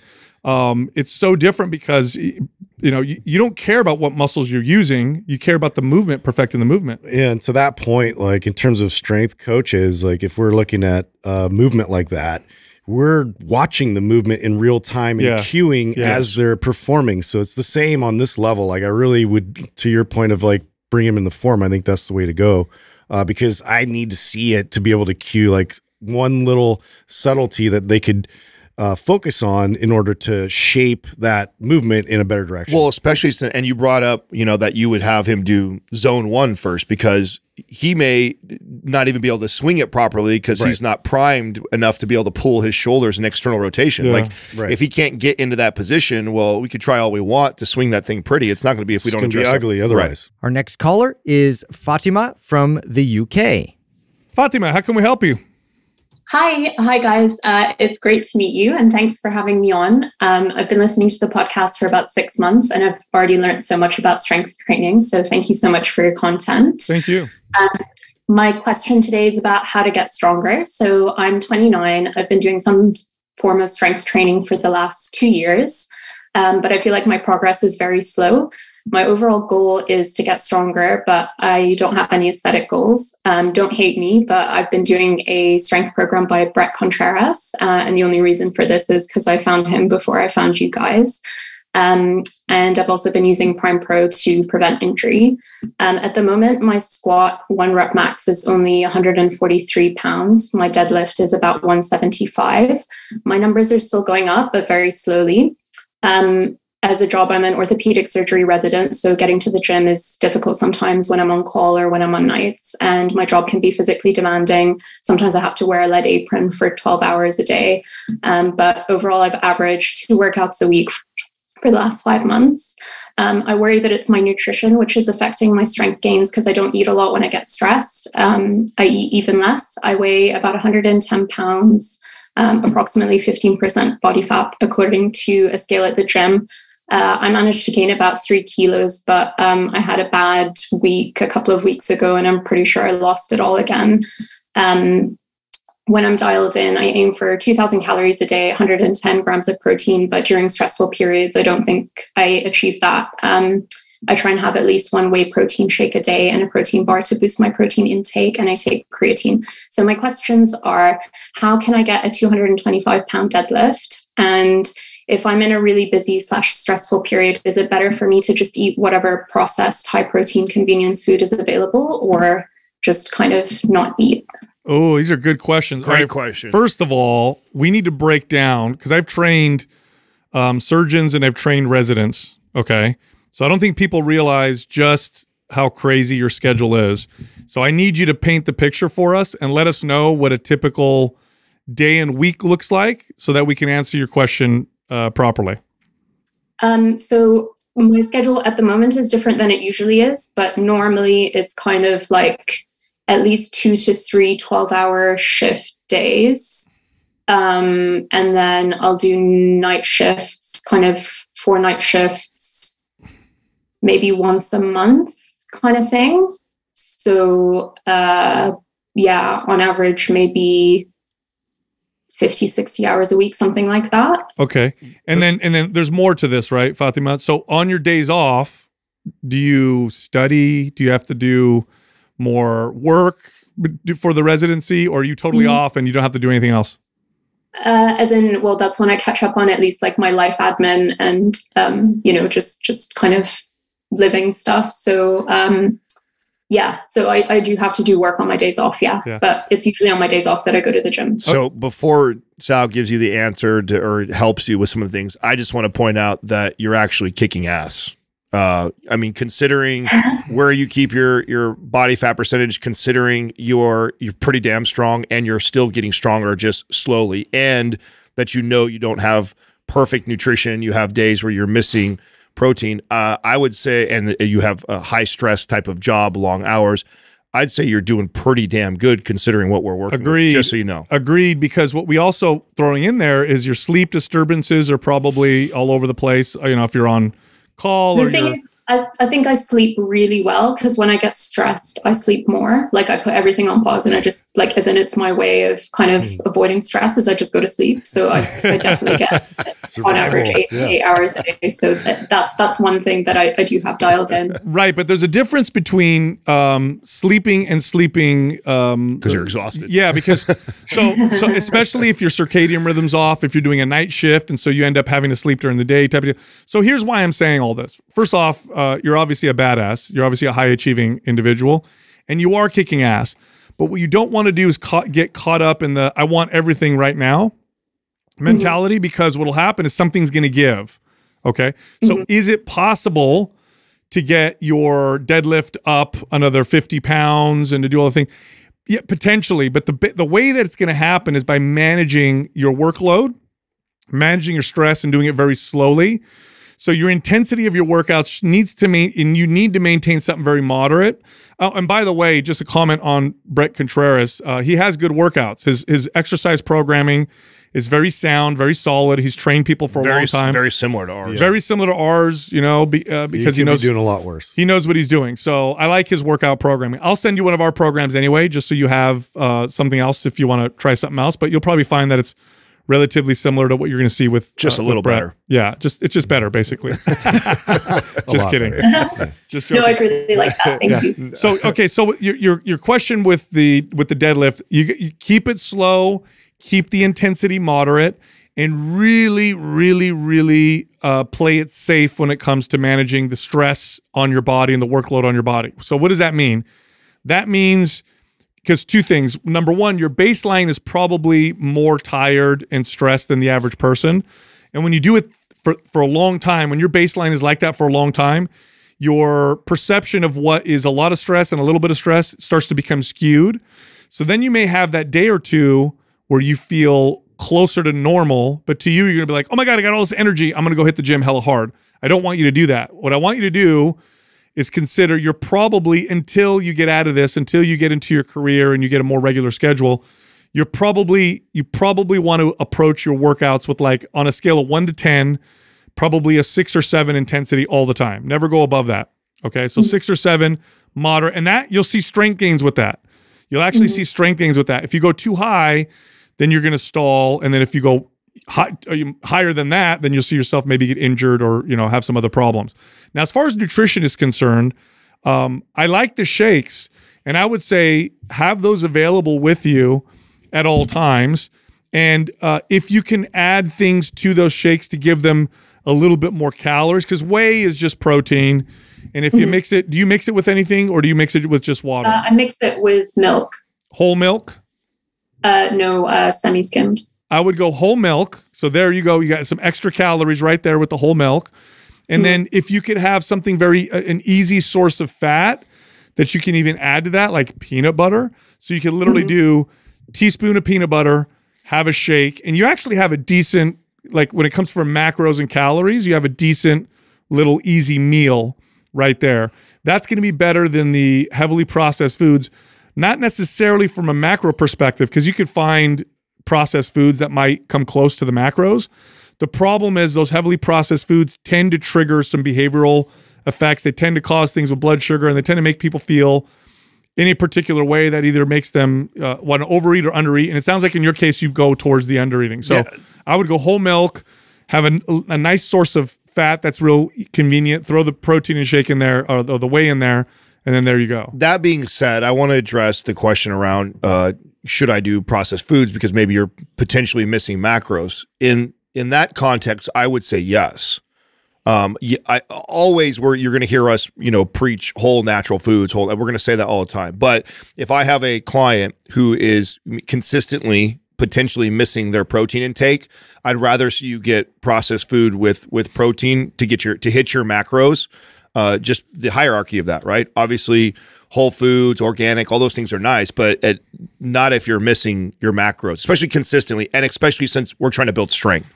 If you're trying to build strength and we're trying to get build muscle, uh, and you you miss protein intake on a on a semi regular basis, that that could actually be one of the reasons too why you you get stuck with your weight and plateauing. But- so I I would But I mean, consider whey protein is processed. So that is a processed food. It's just a better option, especially when you mix it with whole milk, and then you maybe add something else to it. Otherwise, the options tend to look like bakery items or a burger or something along those lines, something frozen that you throw in the microwave, which Yeah. typically typically isn't as good. So that's why I say I would have the whole milk um, and the and the whey, and then like I said, like an easy source of fat just to throw on top of it. I like peanut butter. Most of us can eat a teaspoon of peanut butter and feel great, and then just do that, and that should keep things pretty good because you're looking at. I mean, that's like a cup and a half of whole milk with whey and peanut butter. I was like, you know, you can do like five six hundred calories right there. Yeah, I've, I've been using that as kind of like a breakfast option. Like if I have a day in theatre, um, then I'll have that to sustain me until lunchtime, kind of thing. So um, yeah, I think adding the peanut butter will give it that extra boost that um, will be very helpful. Excellent. And Fatima, I'm going to send you um, Maps Anabolic. Okay. Okay. Yeah, I think that'll be a good program for you to look at. There's a two day a week option in there, which probably sounds like it'll work with your with your schedule. No, that would be that would be absolutely great. You got it. Yeah, thanks for calling in. Keep kicking ass, by the way. No, thank you so much. Thank you. Appreciate it. She's she's doing really well. Yeah, really good. You know, this. You know what this is like. Okay, so you you earlier you were talking about like the the I guess the gear that athletes go into, which is Yeah. Hmm. you know not what's ideal, but what can I tolerate? Yeah, yeah. Hmm. When you're talking with somebody who's like a resident and you know High achiever. it's the same thing. Yeah. Yeah, oh yeah. It's like more and more and more push, push, push, and they get so used to being fried that they don't even realize that they're fried. so I've I've trained people in this situation, and I'm just like, okay, well, can I, when can I add cycling? When can I add this? I'm like, no, no, no, you need to add nothing. Yeah. You your body is like it's it's fried right now, so let's just back way off, and then boom, lo and behold, strength gains. Well, if I have a client who is, you know, doing everything that she's doing right now, and we're seeing any sort of strength gain, and she's maintaining her body fat percent, I'm like, Stay there. yeah, Exactly. we are winning. Yeah. we are because you, you got to remember that you're you're kicking ass in other aspects of life right Yeah, now. So yeah. the the fact that we're progressing. Uh, in spite of everything else that you got going on, is is a, a huge win. I, I know we always want our cake and eat it too, though. You know what I'm saying? It's like you want to get you want to be the strongest person in the gym, and then you also want to go work 12 hours a day. It's just uh, it's, it's something's got to give. And right now, if if you it, it something hasn't gave, or you're not losing in one of those areas, I, Yeah. I, this is just reminding this person that you're you're doing a great job. Because this is, she said 50 to 60 hours. This isn't 50 to 60 hours of normal work. This is stress. This Yeah. is high stress work. yeah, High demanding. High yeah. demand and stress, definitely. Our next caller is Eddie from California. Eddie, what's happening, man? How can we help you? Hey, how's it going, guys? good. Hey, just uh, wanted to start off today saying thank you. You know, everyone thanks you guys for everything you guys do. You guys give great advice. Um, don't want to dwell on that too long. I know you guys hear it all the time. Uh, so to start off, um, I was running anabolic earlier this year, um, and then made it halfway through performance, and I was in pretty much the best shape I'd been in since uh, high school. All right, so I'm 28 now. Um, best shape I'd been in since high school, playing all these sports. Um, I was playing beach volleyball one day, pulled my hammy. Um, didn't feel great, so I was out for a few weeks, several weeks. Uh, got a little out of shape, lost it, um, lost my groove. Um, uh, started going back once I felt good. Once my hammy felt good, I, I went back to the gym. Um, realized I wanted to focus on uh, more mobility stuff because I don't want the hammy issue happening again. And then uh, you guys have been talking about squat depth at the time on your podcast. So uh, I decided to start going deeper on my squats. So I had previously been doing 90, uh, about 90 degrees. Um, and then just said, okay, screw it, let's send it all the way down as far as my legs will let me go. And I think after about four times doing that, um, my knees started bugging out. And I, I never went and got it checked, but I'm pretty sure there was something wrong with the, uh, the tendon right underneath the kneecap. Um, but I'm back now, started going back again, and I'm uh, a few weeks in the, back in performance. Um, so my question to you guys is, what is the best way to really get the real deep squats? Increasing mobility, and I also have an ankle mobility thing as well.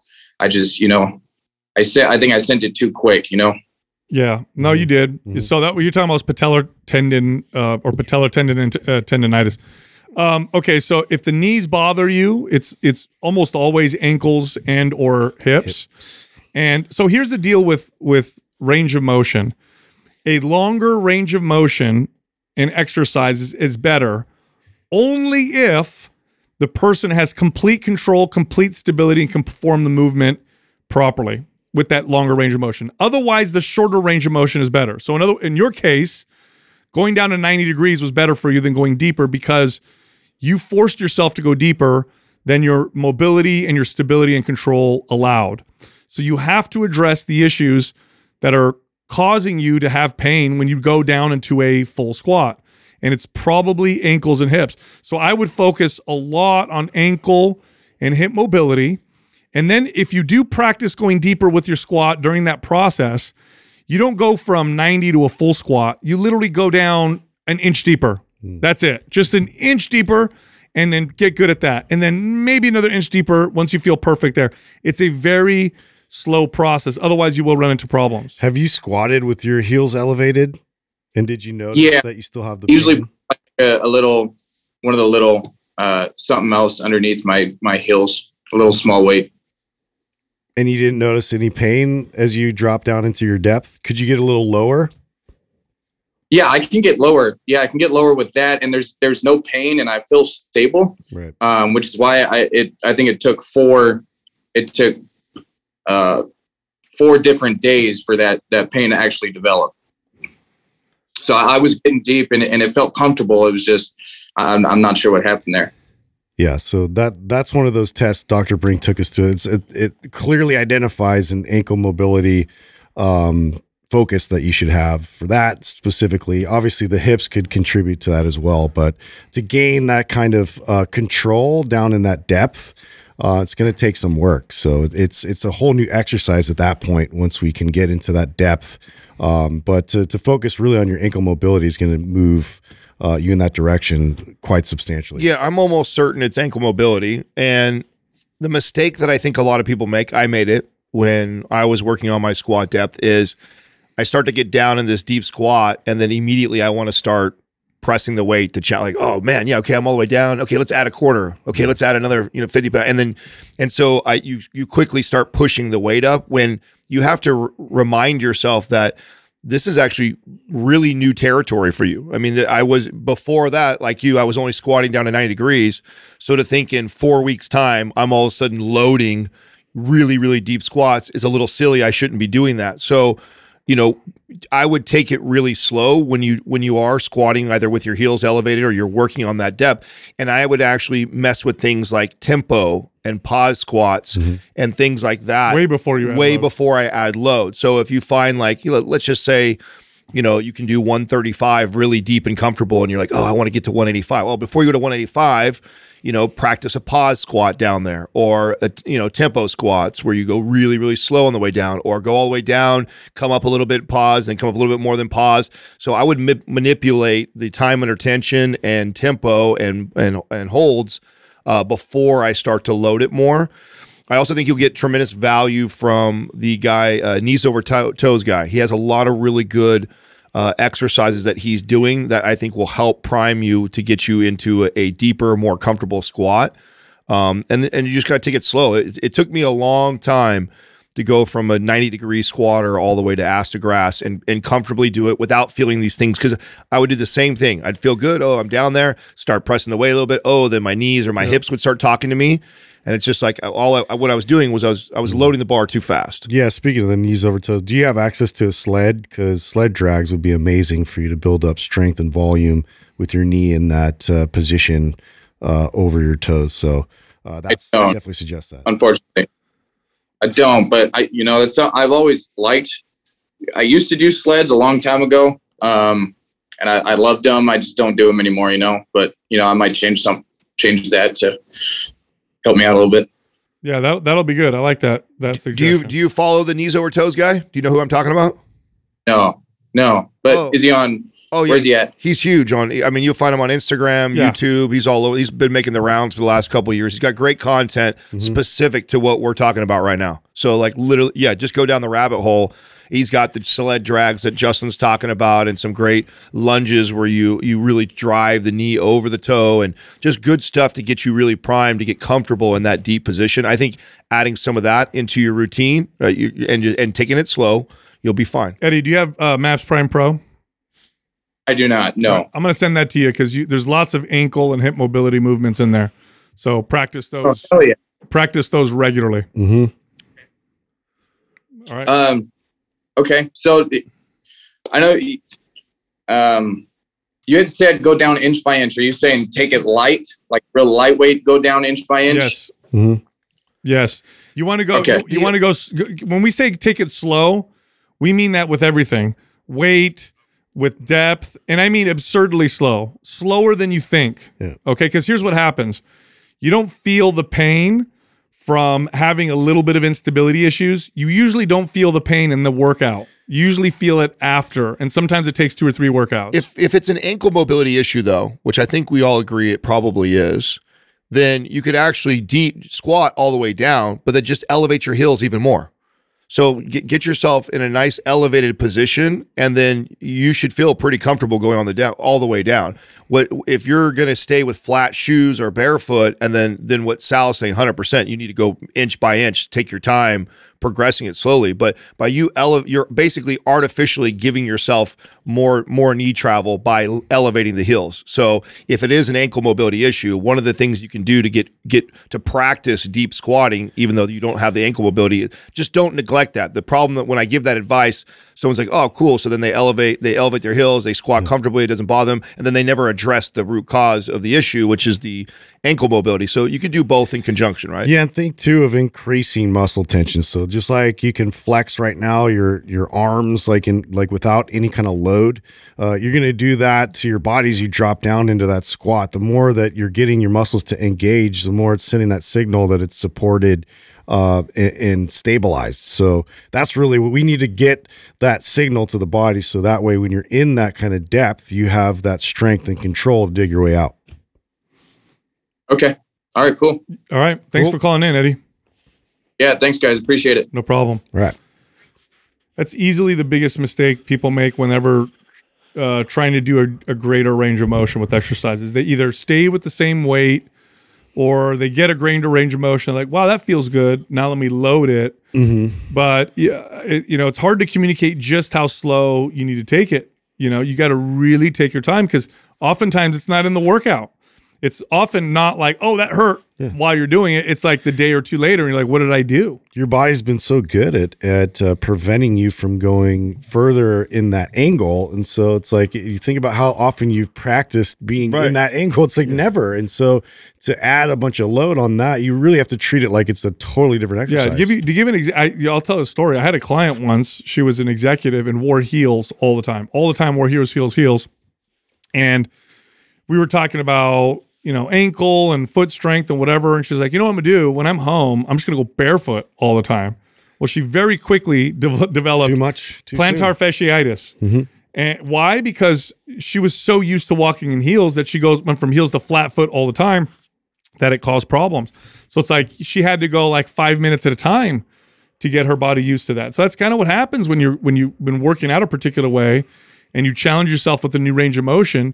You know, you got to treat yourself like a complete beginner. That's Yeah. exactly what you got to do. I did the same thing. I mean, I I I went through the same process. Uh, you get excited because you're Yeah. going deeper, Of course, and it feels good in the yeah, moment. and it feels good, and do. so then you you instantly want to start adding the weight and get back to the weight that you can you know traditionally squat, and Yep. so yeah, no, I made I made this mistake multiple times, and you just got to regress it, and and the to Justin's point, get get to the bottom, create tension on the bottom. I believe so. If he's listening to this afterwards, Eddie, I believe if we go uh, back on my Instagram a little bit, you'll see some of the squat priming I do where I'm creating tension, like Justin's talking about, with just my body weight, Yep. uh, where I'm trying to prime my ankles. I, I'm, I'm like basically hugging a, um, a squat rack and, and driving my knee over my toes, intensifying it, then going to the other side and you know pushing the knees out, engaging my glutes. Like so, uh, yeah, prime prime like that. And then even when you get into loading it, you know, load it with a little bit of weight and then do that same stuff at the bottom of your squat to create that tension Justin's talking about, and then take your time. Exactly. Being hyper focused on your fitness goals is killing your gains. It would have been more controversial just to say your goals are killing Just your, your Your gains. goals are Yeah, killing yeah. your But gains. Yeah, Yeah. That I does- got to be a little bit more a little more clear. clickbaity. Yeah. because that would have got more attention. Like You think so? Yeah, that just Well, what you said more seems accurate, obvious. so I, Okay. I, I go Less with this one. controversial. We'll do this again. Okay, take two. Canceled. No, we're not. Let's keep going. I like where you're going though. I mean, I, know. think uh, I think No, I'll do it. All Here go. Good. No, seriously. It's only happened three times in our life. Okay, well let's. Oh just- yeah, shit! I was all joking. this- Let's keep. That's fine. let's make it concise. Having goals is killing your gains. Ooh. Oh, is that a better one? Yes. No, I I've want tried this fifty times. I want to talk about this because um, how often, how many times we had clients, or now we have callers call in where they talk about Can I stop you? this goal or that goal. Are No, you you referenced something that the audience has zero clue about. It's like, is this a better one? What are you talking about? Because we didn't play. All the first take minute. three. it doesn't. That part doesn't matter, Doug. The first one didn't matter. We Jesus could, we Christ. could work through it. You guys fucking. You're not allowed to stop it. the show. Doug. Everybody's hungry. Jesus Christ! All I'll right, do it again. Let's go. That's fine. Yeah, it's like uh, it- You have to. when you reference You when you to. when you We pay you reference to agree with Doug. when you reference something that people have That's zero fine, Doug. clue That's about. fine. no We'll go. relevance. Let's go. Let's go. That's fine. Take three. There we go. Doug is killing Three. your gains. I'm. There you go. Here we go. your goals are killing your gains. Is that better? It's good. that landed. You still did it to him. I know. I did, I did that on purpose. I did that one on purpose. Oh, it's Monday. Piss off, Doug. yes, Piss off. sir. Heads are Wait, hold on. Hold on. No, hold no, no. Hold Listen. on. All listen, right, listen, Sal, Linda. can you do this? Whoa. Oh shit! Whoa. Too far. Calm down, Carl. Are we recording, Doug? Just make sure you're recording. I If you stop me because we're not recording, I'll be really upset. Doug, Doug just went me. postal. All right. All right. All right. Here we No, go. no, no, no. Are you doing it over again? No, I you're- am. Yeah, yeah. Oh, yeah, you yeah, are. yeah. No, he was fucking. Well, I feel like you had. I like. I like all No, that. I did there. that with Doug. I did that for Doug. Sorry. Look, if you like our information, head over to mindpumpfree.com and check out some of our free guides and free information that we offer all of our viewers and listeners. Again, it's free, mindpumpfree.com. You can also find all of us on social media. So Justin is on Instagram at mindpumpjustin. Adam is on Instagram at mindpumpadam, and you can find me on Twitter at mindpumpsal.